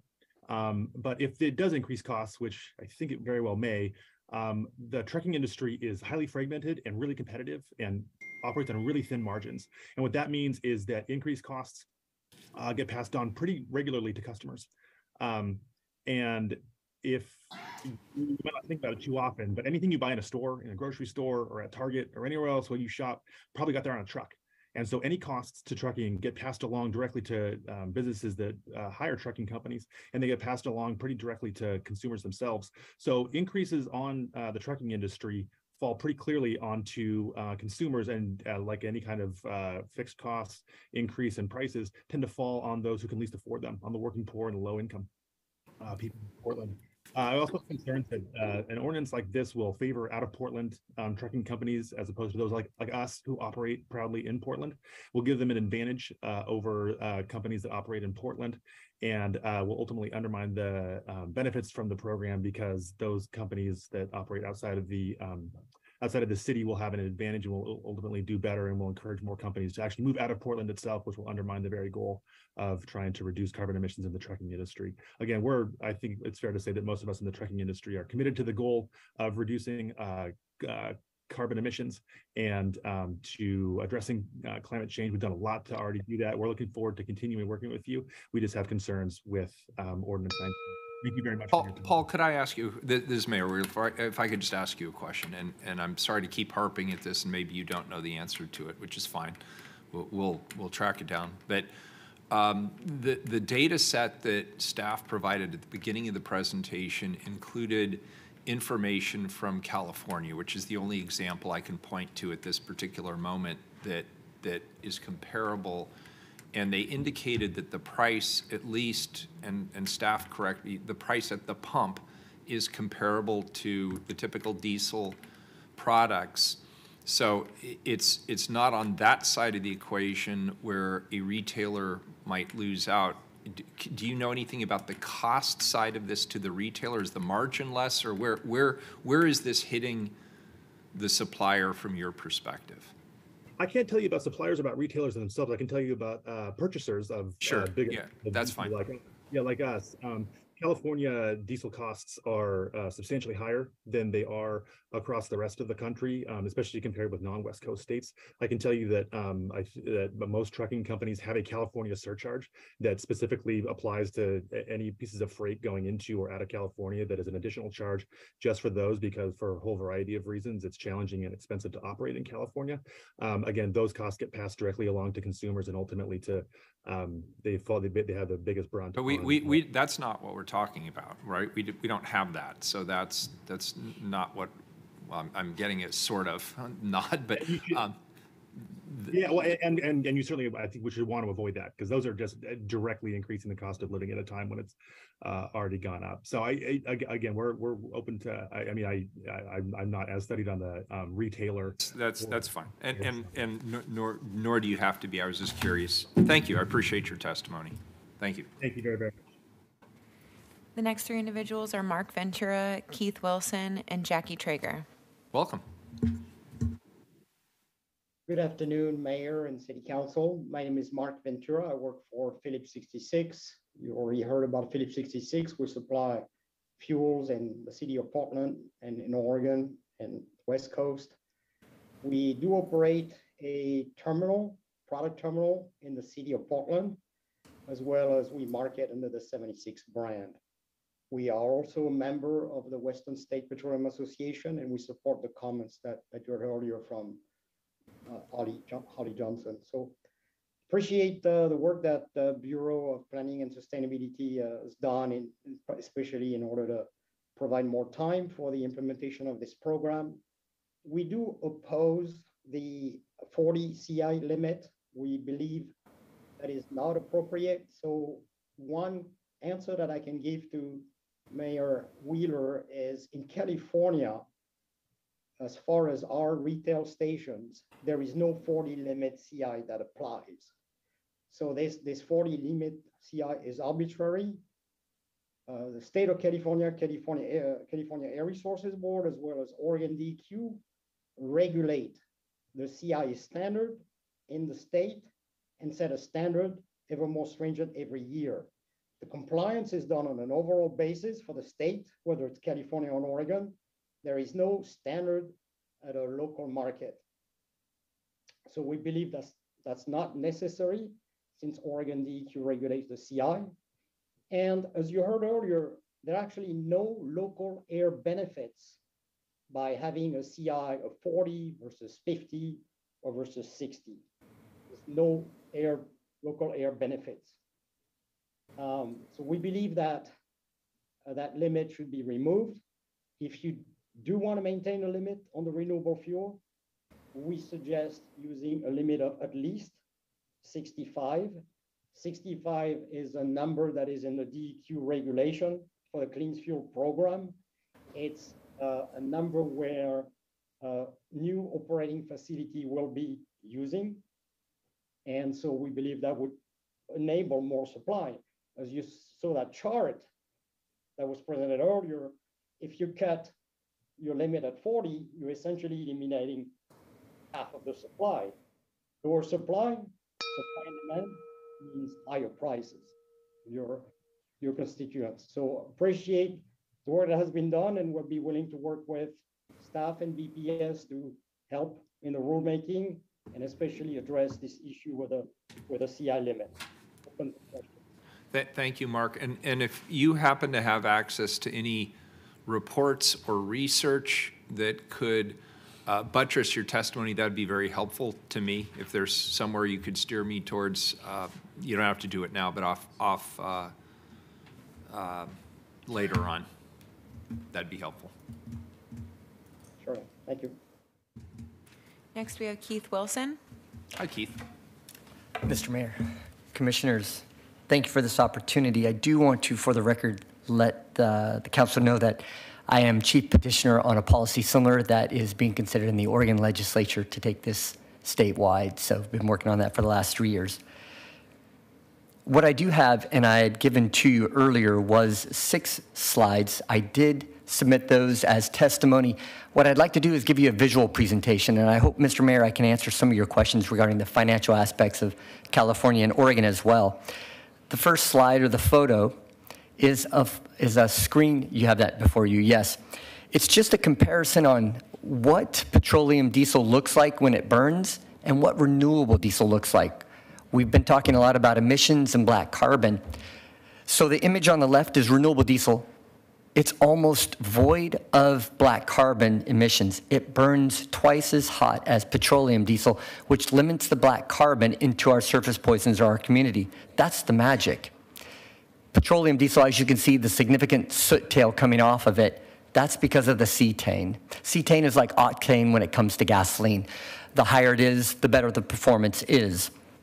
And with renewable diesel, you get up to 80% reduction in emissions, CO2, and 40% reduction in black carbon. Those really matter when it comes to the maintenance of the equipment.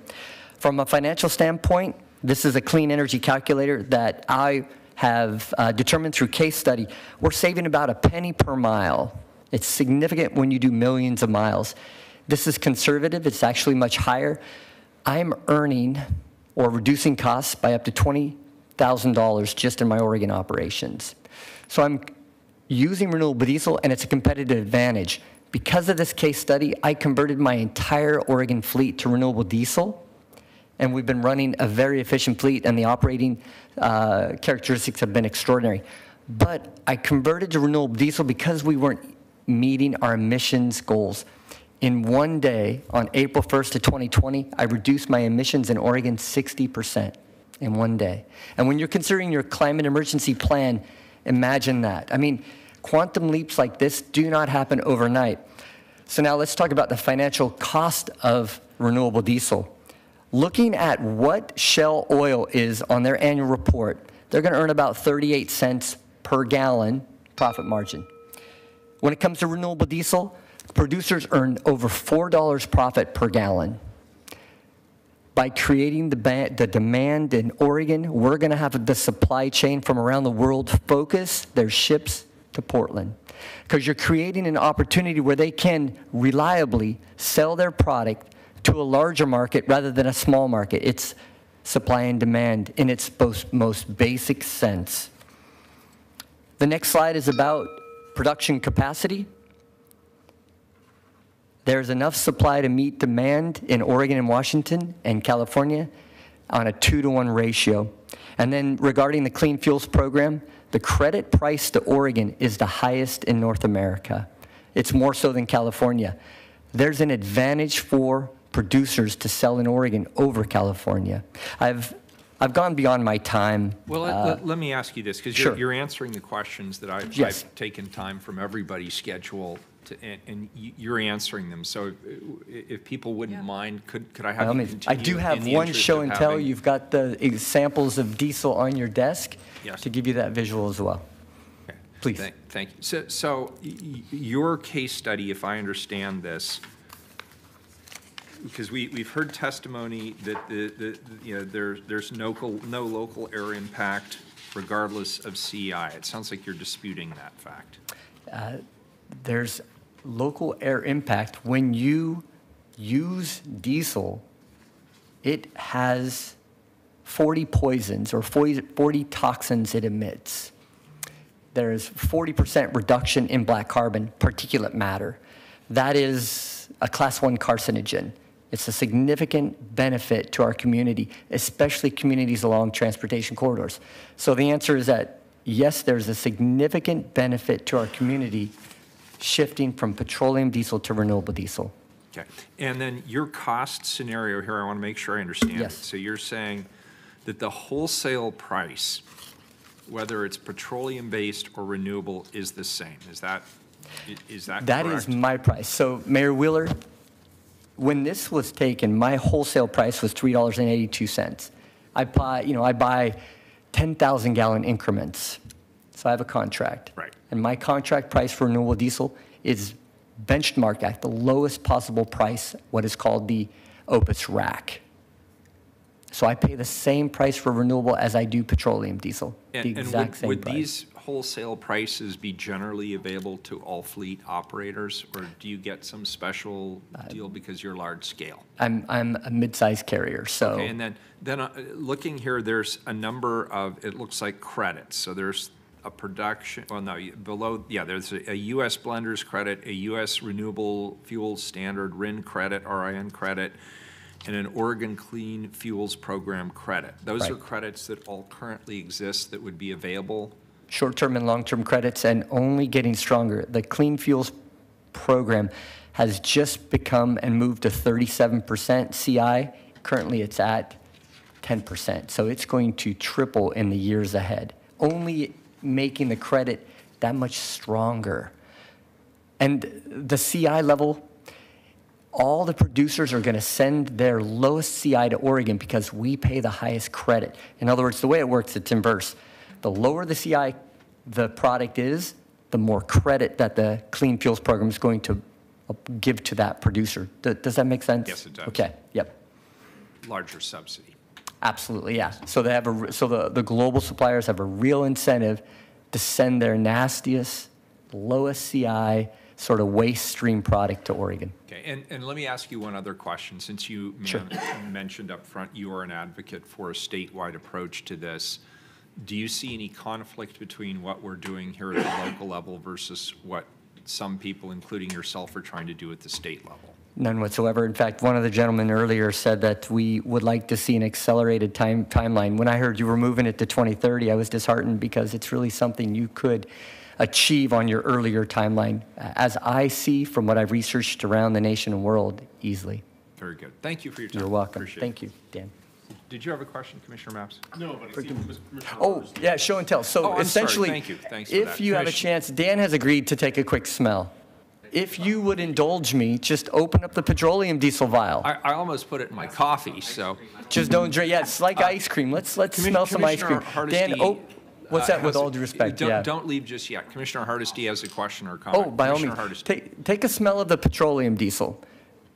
Oh, well, I am it. so sorry I'm missing the opportunity. to All right. Well, if only Dan, does Dan only have it? You Well, have uh, it. don't- Uh, don't worry, Commissioner Commissioner, Mathis. yours is here. We'll save it for Uh, you. is that Oh, the yeah. darker colored one? Yeah. Take a You smell of it. smell this. Try Okay, it. here I go. Did you smell it?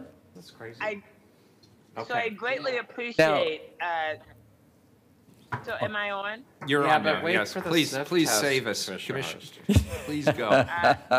Yeah, that's quite a difference. So, so Commissioner Wait, wait, Ryan. wait, wait, Oh, wait, I'm wait. sorry. One person at a time. Commissioner Hardesty, you're up next. Go ahead. Thank you. Uh, thank you, Mayor.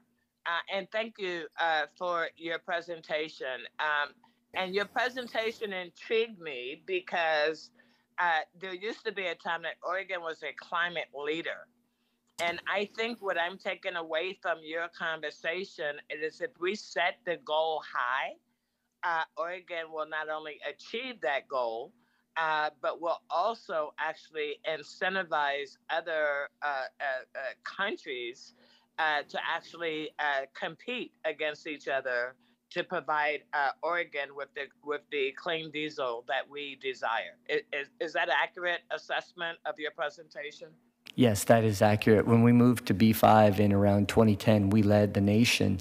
And again, today, you have that opportunity to do it. And the users of this product will actually benefit from it in lower operating costs and lower emissions and a safer workplace because you don't have poisons being emitted in their maintenance to drivers or our communities. It's, it's really quite an extraordinary opportunity. And did I hear that there's a very like a three percentage point difference between the current DEQ standard and what's being proposed by BPS? I'm so sorry. Could you restate that, Commissioner?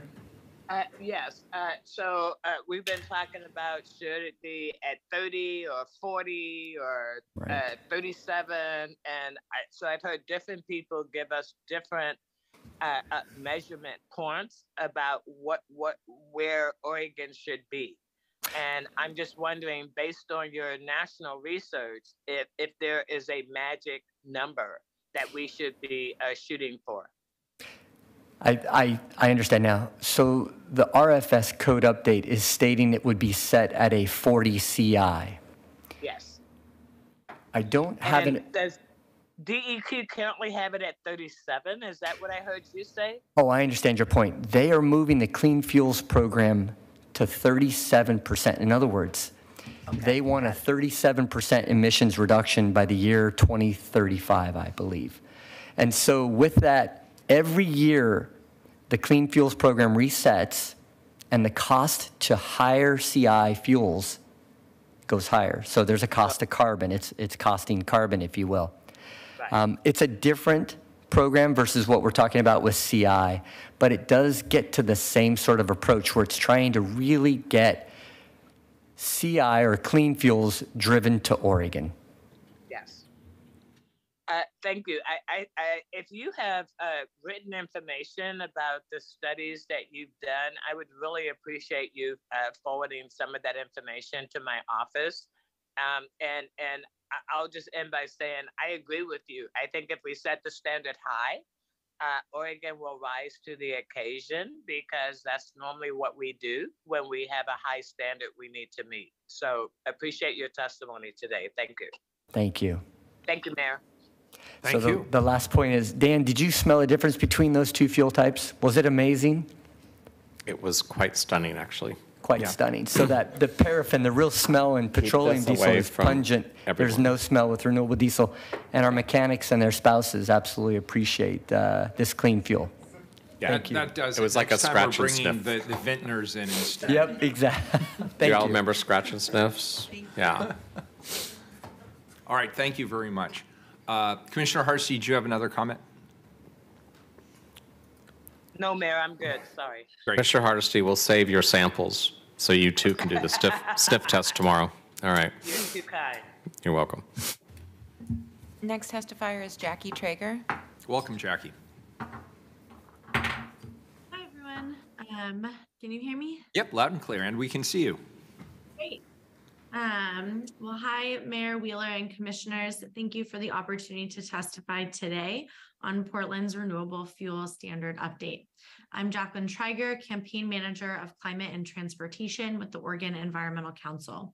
OEC is a nonpartisan nonprofit organization that works on behalf of our members across the state to advance innovative, collaborative, and equitable solutions to Oregon's environmental challenges. I'm here to express strong support for the proposed RFS update to replace 99% of petroleum diesel sold in the city with renewable diesel by 2026. Doing so will protect our climate, public health, communities, and local economy. We all felt the direct impact of climate fueled extreme heat this summer, and across Oregon, at least 14 people died as a result. These climate tragedies underscore the urgent need to reduce the fossil fuel emissions driving climate change. And burning diesel is the fourth largest source of climate pollution in the city of Portland, responsible for 14% of local emissions. The RFS is one of our best near term tools to reduce this impact. And every year in Oregon, diesel engine exhaust is responsible for an estimated 176 premature deaths, 25,910 lost work days, and an annual cost from exposure of $3.5 billion, according to Oregon's Department of Environmental Quality. And these health impacts are felt disproportionately by communities of color and low income populations who are more likely to live along highways, arterials, and freight corridors. I urge you to adopt the proposed amendments to accelerate the increase of renewable fuels and add a carbon intensity standard in line with the DEQ Clean Fuels Program. This will ensure that renewable fuels used in Portland are truly lower carbon across their entire life cycle. While we still have existing diesel engines on the road, we should reduce their impact with renewable fuels, which are cost effective and readily available in Oregon. Updating the RFS is an efficient and effective way to protect health and reduce climate pollution as we transition to a more equitable electric mode of transportation. Thank you so much for your consideration. Thank you. Our final testifier is Mark Fitz. Welcome, Mark. In person, there you are. Thank you very much. Uh, so, by the way, uh, my family owns Star Oil Co. Been in business since 1936 here in Portland. I sat on the Sustainable Development Commission when it proposed and went forward with the first uh, RFS. Um, that being said, I've got an analogy I think that describes what's going on here to help you kind of picture what's going on with our testimony in industry to your staff that I agree with in their intent, but don't believe they'll get the result they want. Go back to 1999 and imagine dial-up internet, AOL, Earthlink, streaming video. Where we are, right? When they talk about how much renewable diesel there is, 700 million gallons, that's the whole country. The GDP of Oregon's around 300 million, uh, three, 300 billion dollars. You've got 3 trillion in California. It's the investments there. When you go back in the market to look at what's going on, there are roughly 3 billion gallons of biodiesel, roughly a billion gallons of renewable diesel in the United States. That is coming primarily from soy. Soy is over 40% CI, so you're blocking most of the feedstock that's going to come online to provide. There's right now planned about a billion gallons of new production coming online. That's hopeful. These are multi-billion dollar plants. The technology to make renewable diesel is like flipping magic. You are rearranging molecules. We are entering a new era in a new world where you will have low carbon agriculture. That's where this is going. Everything you can imagine can be made, broken down, and rebuilt for chemistry, right? This is huge, and it's bigger than Oregon. I would say that the arbitrary calendar that we're working with is not the way to go. The original RFS had triggering language how many millions of gallons are sold and available shows that it's available. You create a flag that if you invest, it will occur. And then you don't put yourself competing against Massachusetts and New York and Pennsylvania and New Mexico and Washington for that same 700 million gallons. So what you're doing, intention's good, but you're basically competing against the world for a product that's like water in the desert. So I'd ask you, please reconsider. Hundreds of companies sell petroleum in Oregon. Only a few of us, me included, actually get access to the renewable diesel to handle it. And it is water in the desert. The city, if you check your purchases, you go through periods where you can't get it. That's going to be on and off for years.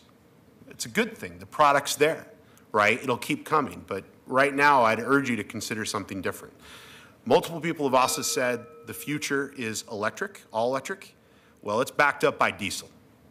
And the more you put to balance that grid that is aging, the more we're relying on the generators like on top of this building that my company will be fueling later this week, right? So be aware, it is a very dangerous game we're playing with when the world's backed up by diesel and you're making it very expensive and complicated to handle. So, thank you. Appreciate it. Thank you for your testimony. Thanks for being here. Great. Thank you, everybody who testified. Any clarifying questions anybody has of staff? I, I've, I've got just, oh, go ahead, Commissioner Hardesty, you go first. Uh, Excuse me, Mayor. I was hoping the staff would come and respond to the question around uh, uh, their earlier presentation around uh, using California as an example. Most most of the testifiers who were not in support of the current plan uh, actually kind of poked holes in the California. So I'm curious as to what staff thinks about that. Hey, Commissioner Hardesty, this is Donnie. Could you um, elaborate a little bit more, please, so we can best Uh, address? Yes, well, uh, the question is, uh, the, the model that, uh, Donnie, you, you, your, staff presented at the beginning was that we use California as an example when we had a higher standard uh, the market adjusted, and California was very successful in implementing the, the, the higher standard. Um, and and that was part of the case being made as to why Oregon should uh, follow that model. It make sense now? Yeah, Commissioner, I, I'll, I'll start and, and staff, we can, we can um, tackle this together. I think the, the two things to, to be clear about, Commissioner, there's, there's market drivers in California that are distinct in California, given tax credits um, in their own, and the own, frankly, the, the way they tax their fuels. So as one of the testifiers alluded to, there's, there's higher price points for, for fuels based on California taxes. So there's just, that's distinct. What isn't distinct, though, is the market driving uh, dynamics of the policy we're putting forward today. It's not because we think that we're hoping that the fuel will be there. We're signaling, and I think one of our, um, our guests uh, alluded to this, that Oregon and Portland, by, you know, by proxy with, with this policy, are seeking renewable diesel at the, at the highest and best standard of CI at 40. Right, so essentially, we're seeing the production happening, and we're saying we're looking for this, and given the state's clean fuels program, that's providing the incentive for those higher quality fuels to come in because we're getting a better price at that, or the, the suppliers are getting a better price. So same model or same, same intention, different market drivers. Does that make sense? It does. Thank you. That, that's helpful. Commissioner Mapps. Um, does the state of Oregon currently have a CI standard? And do they plan to move that over time? It, it's not a, it's not a standard, Commissioner. It's, they, they are uh, analyzing the pathways of the fuels coming into the state. So we're able to see what's coming in. And I wanted to just allude to, uh, not allude, to address the question about the CI at 40 and why the 40 was the number we started with. Um, It's essentially the, the approximation of when we have fuels that are coming in uh, that are using recycled or reused material, that's below the 40. And typically, things above 40 are going to be your, your virgin products or your, or even more extreme versions of that story, like uh, products that were grown on deforested land, you know, somewhere around the planet. And so we're essentially saying that 40 is the, the place where Portland wants to be as a climate leader, acknowledging the life cycle impacts of the fuel, not just the emissions in the city, which were absolutely significant reductions by using, but also what were the unintended consequences. Many of you heard about our, our um, evaluation of sustainable consumption and how all the products we use in the city, what are the, the life cycle impacts of those. This is a similar um, uh, way to look at this, this policy. We're not just looking at the combustion in the city, but the life cycle impact of that fuel's, you know, origin story. Does that make sense? Yeah, it, it does. Uh, one more question, um, which may or may not be in a position to answer. Do you have a sense of what our average CI is for gallons for diesel sold in Portland at this point? We have that. Do you want to answer that? Uh, For the record, my name is Kyle Diesner with the Bureau of Planning and Sustainability. Um, I do not have that spreadsheet in front of me, but uh, fossil diesel fuel is just over 100 CI, and Mhm. so the standard today is B5, that's 5% biodiesel, so that brings that down. I I believe it's somewhere around 90, um, but we can certainly send you the exact numbers. Uh, I do want to expand on, on your prior question, which I think is important. The state of Oregon allows all fuels into the state, so there is no limitation based on CI. They have a market-based mechanism uh, where lower CI products get higher credits, and that makes those lower CI products more cost-effective in the market. What we're saying for Portland as we've heard pretty clearly from our stakeholders in the community, that Portlanders value those life cycle emissions.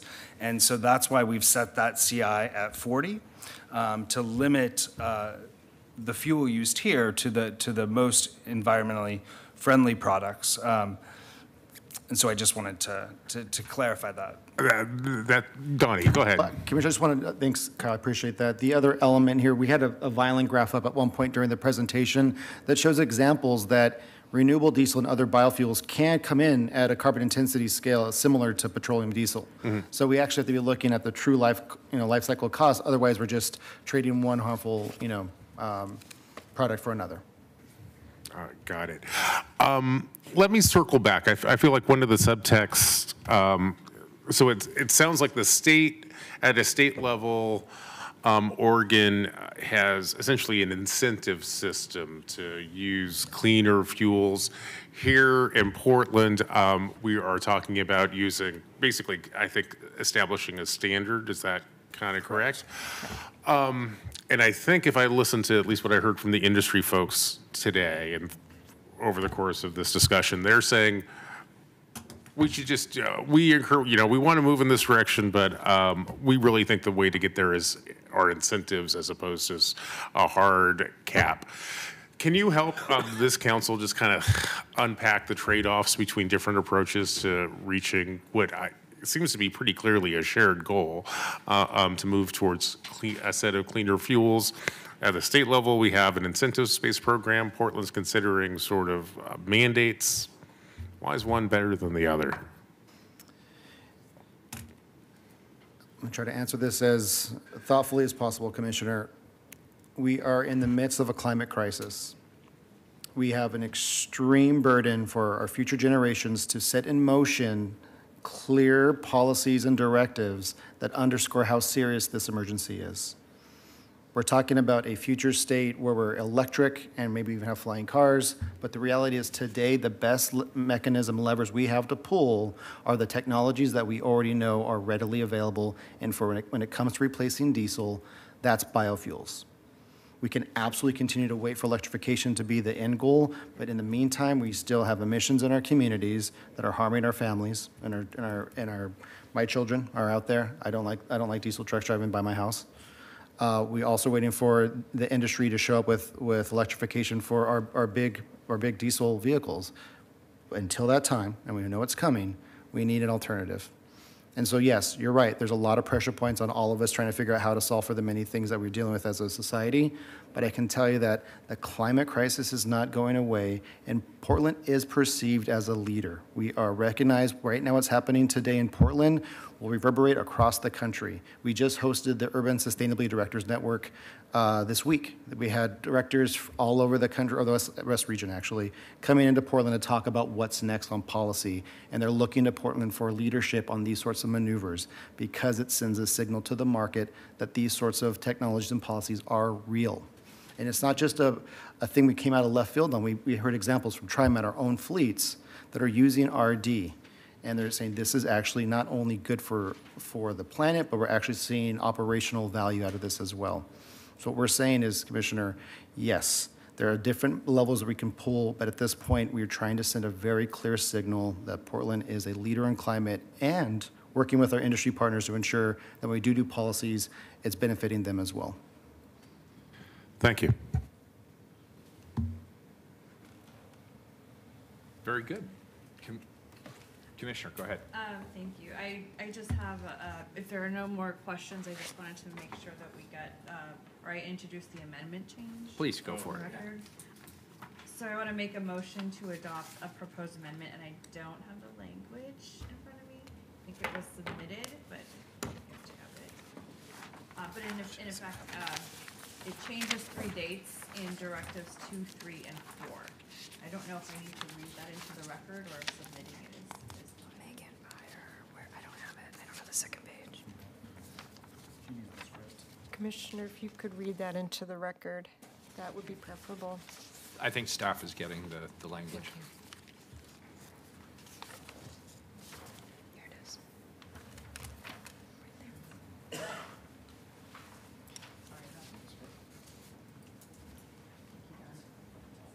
The top one, right? Okay.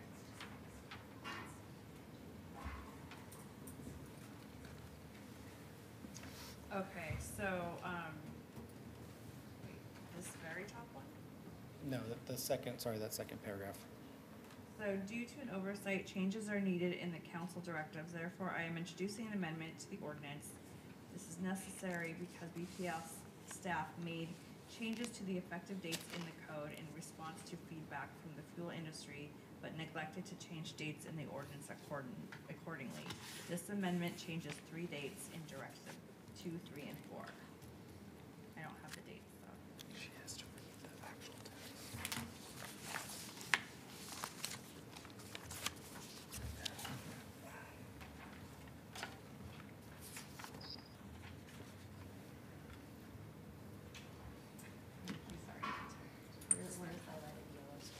Okay.